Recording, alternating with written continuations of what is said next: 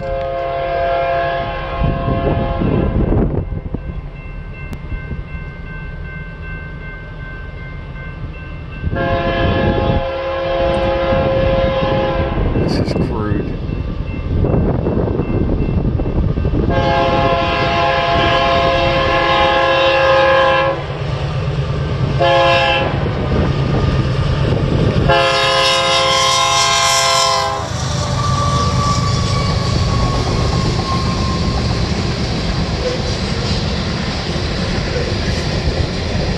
pretty cool to something that big and that heavy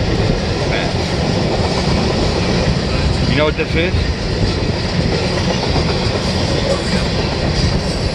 It's actually um, like corn. And you can tell they're loaded. Springs on the truck. I think you know there's something in there. Syrup. That's what it is. Food syrup.